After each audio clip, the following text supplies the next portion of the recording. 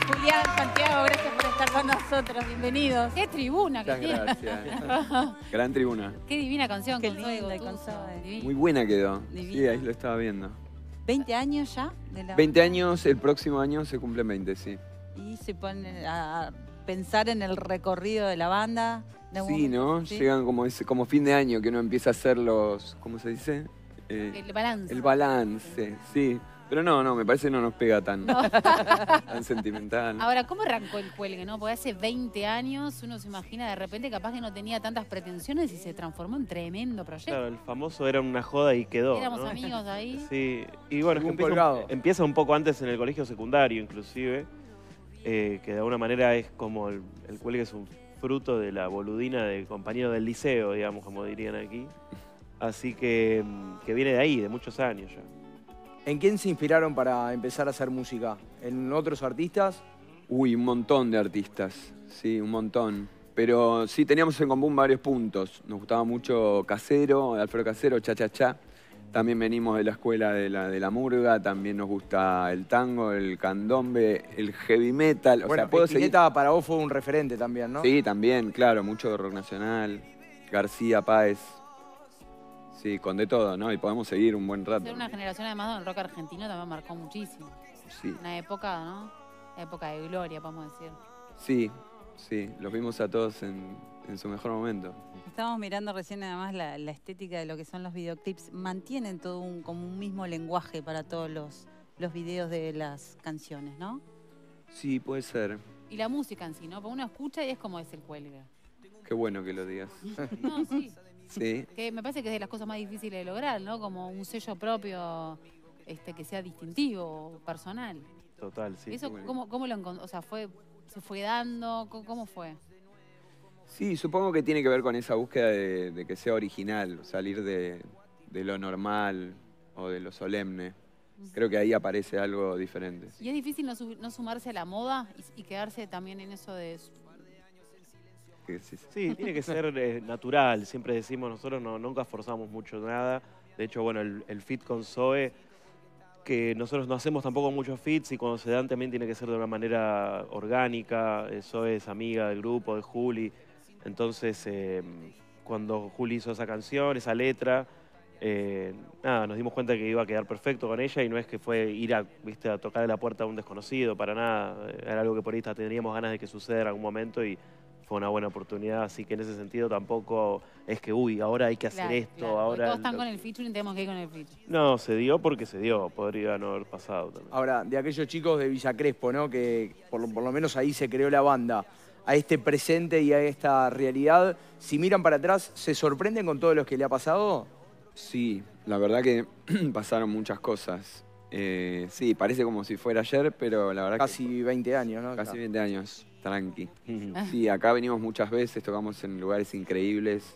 Este, estuvimos en el No a la Baja, estuvimos en el Velódromo, estuvimos, eh, no sé, momentos muy, muy grosos. Eh, tocamos con Paul McCartney, como de repente cosas que sí no... Qué locura. Es muy loco que el trabajo, que en realidad, bueno, también es el placer de estar con los amigos Obvio. tocando, te haya dado viajes también, conocer mucha gente. Ayer estuvieron en Cumbia Club. Sí, ¿Cómo estuvo? muy bueno. Estuvimos invitados con los Cumbia Club, hoy también. Eh, está buenísimo. Está nos buenísimo. invitan, sí, muy seguido. Cada vez que nos invitan venimos. ¿Y cómo es el vínculo con, lo- con los músicos y la música uruguaya? Es eh, muy cercano. Sí, sí, muy estrecho. Siempre en nuestras casas siempre hubo música uruguaya. ¿Qué, Este, qué escuchan de fam- música uruguaya? ¿Familia? Y independientemente de Jaime, obviamente, eh, y mucha murga, en mi casa había mucho Leo Maslía también. Mira, ¿Y murga uruguaya escuchaban en sus casas? Sí, sí. Eh, y bueno, los libros de Leo Maslía también, no solo la literatura, Claro. no solo las canciones, que para el cuelgue tuvo mucho, mucha influencia, no sé si directa, pero sí esta cosa del absurdo, del humor, eh, siempre estuvo, ¿no? Entonces era una de las tantas cosas que entraban en la licuadora esta. Eh, si les invitaran de repente a participar en una de las murgas uruguayas, de repente les gustaría, sería como algo sí. pendiente. Sí, estamos. ¿Hay estamos. posibil- ¿Es una posibilidad? Sí. Sí, no sé si, si, si se puede. Si ¿Y nos tienen dan alguna favorita? Eh, sí, queso magro. ¿Qué son más?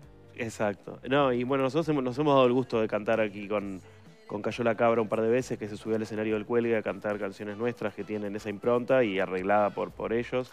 Eh, así que dándonos un poco la, la bendición del carnaval aquí.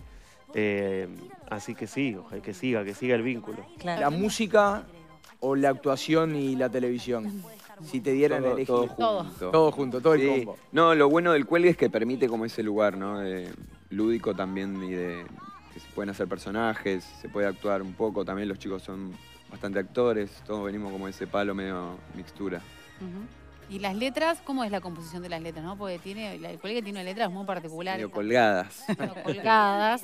Sí, sí, bueno, también tienen, tienen que ver ¿Es con ese proceso. El proceso creativo. Sí, algunas sí, algunas sí, otras salen en el momento, improvisadas, es bastante absurdo, sí, son imágenes eh, que en general son resultado de, ese- de esa boludina entre... ¿Y cuál fue la canción que dice que, que ustedes entienden que fue como un, un antes, un después en, en- en cómo llegaron a la gente o que se hicieron más masivos?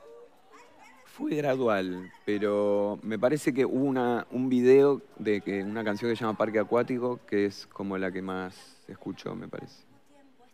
Sí. Sí. Al, sí, al menos de este lado me parece que también fue como la que los hizo más masivos o conocidos, capaz que era otro público, ¿no? Sí, sí, puede ser, pero igual fue, fue gradual, no es que hubo un- de un momento a otro. Hoy se presentan, ah, perdón. Dale, dale, dale. Cuquita, No, que hoy se presentan en Cumbia Club, pero ¿y ¿cómo sigue el año? Bueno, queda muy poquito, ¿no? Para terminarlo, Sí. pero ¿vacaciones o siguen las presentaciones? Descansamos Giras. un poco y ya el 13 de enero estamos en medio y medio, así que ya volvemos a tocar acá. Después tenemos algunas presentaciones por Argentina y volvemos acá al Teatro de Verano en marzo. Cuéntenos del teatro de verano. ¿Cómo va a ser eso? espectacular, espectacular, muchas ganas de tocar ahí. Hablando ¿Ya lo de- vieron renovado o no? Hablando No. de Murga, es el, el lugar. Claro. Es el lugar. No, estamos recontentos. Pudimos tocar ahí, pero era la pandemia, entonces era particular también la situación. Ahora vamos Aforo completo. a foro completo, sí. El 16, ¿no? 16 de marzo. 6 de marzo. Sí. Divino. ¿Querías preguntarle algo, Diego? No, no, quería, quería más que nada en estos 20 años, donde tienen un montón de álbumes, cómo han acompasado también los cambios tecnológicos de la música.